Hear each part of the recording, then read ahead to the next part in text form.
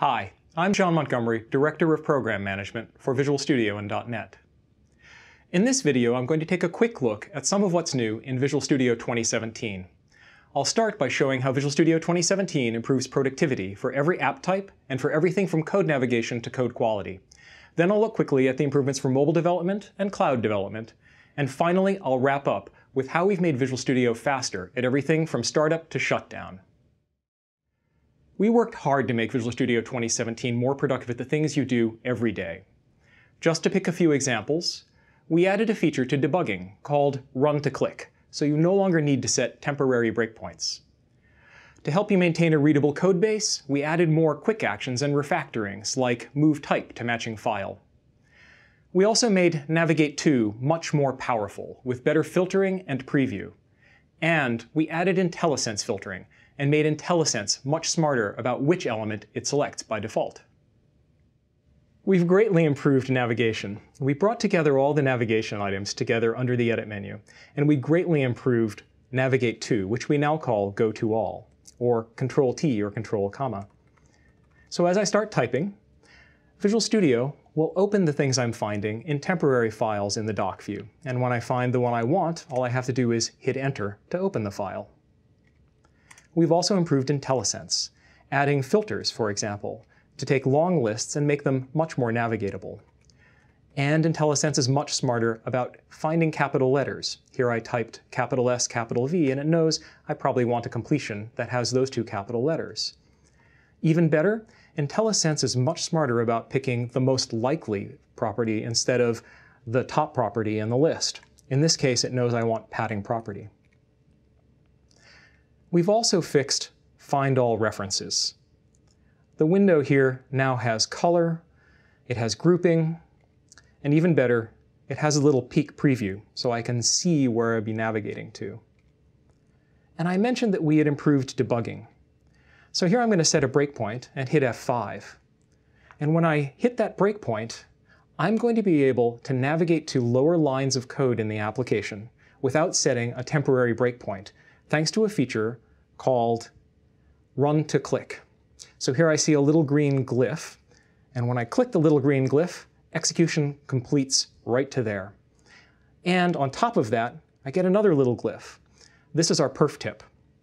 The perf tip is telling me it took about 90 milliseconds to run this line of code, which is about what I would expect. But if it had taken too long, all I'd have to do is click it to bring up my performance diagnostic tools and immediately get to work solving the problem that I found. So altogether, a bunch of improvements to the productivity of Visual Studio 2017.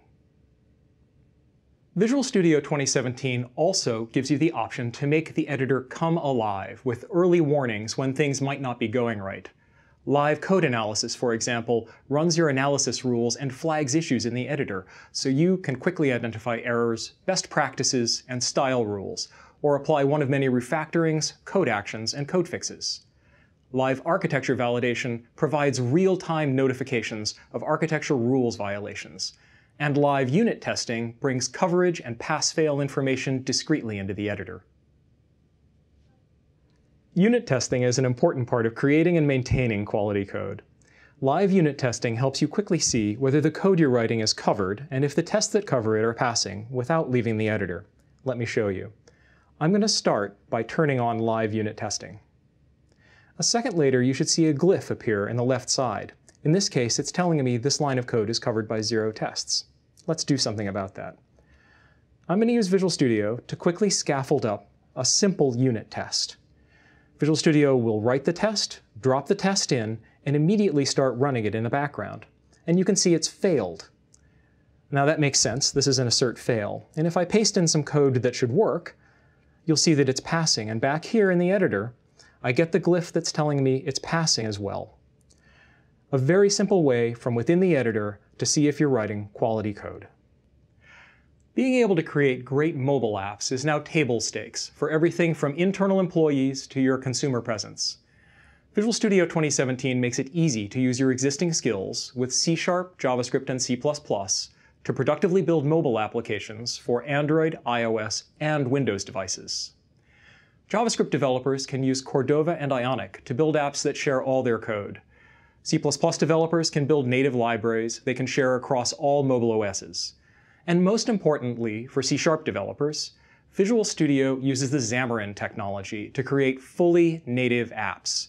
Apps that have native UI, use native device capabilities, and have native performance with up to 80% code sharing.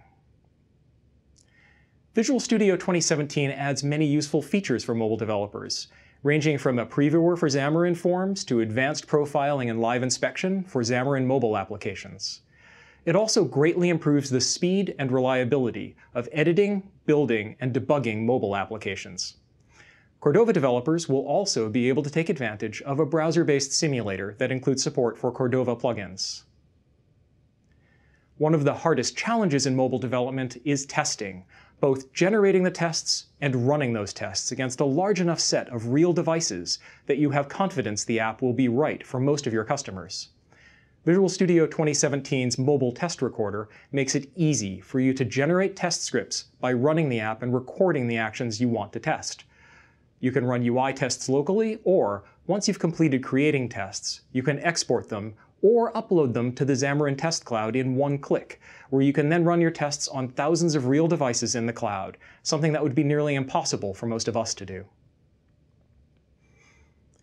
Just as the cloud changes how we can do mobile device testing, the cloud changes how we develop software, from the architecture patterns we use, to how we deploy and update applications, to the development processes we use.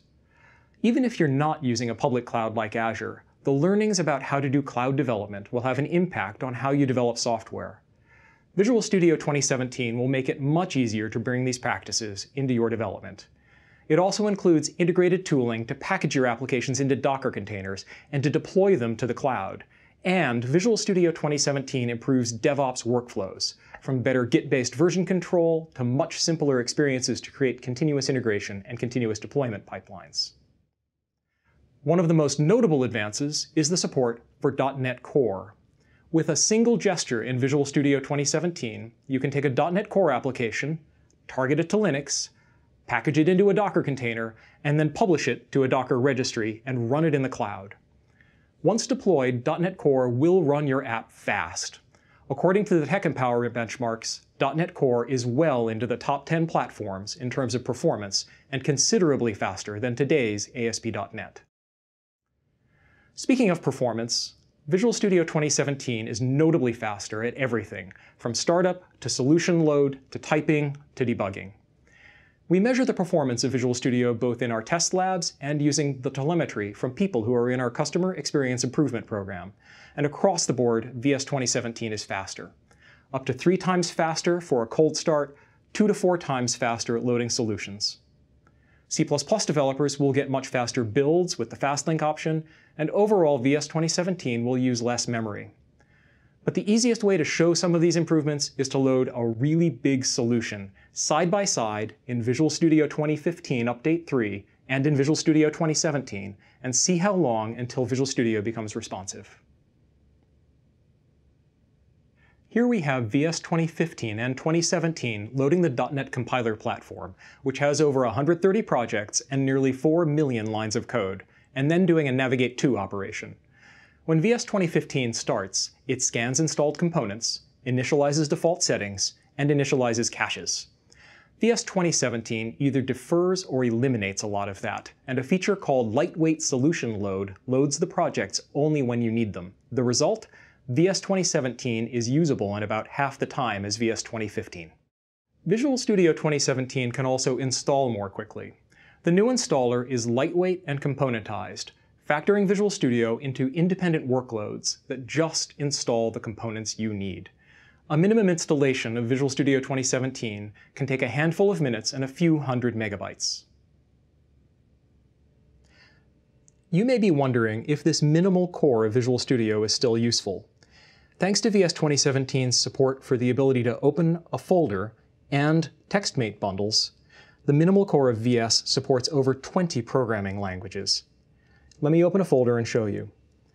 Here I have a folder that includes some Go and some Ruby, as well as YML, Markdown, and other things. And you'll see Control, comma, Navigate to, works. It opens the files in the temporary doc well. When I find the one I want, I can open it, and I get IntelliSense working. So a snippet gets inserted. And completion works the way you'd expect.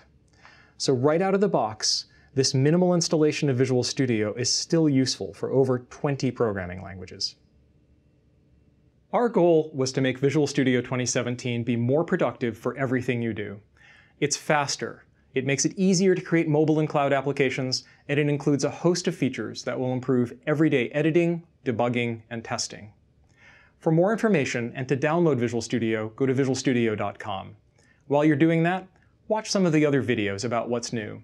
And once you've had some time in the product, tell us what you think. Just select Help, Send Feedback to report a problem, provide a suggestion, or just to rate the product. Have fun with Visual Studio 2017, and thanks for watching.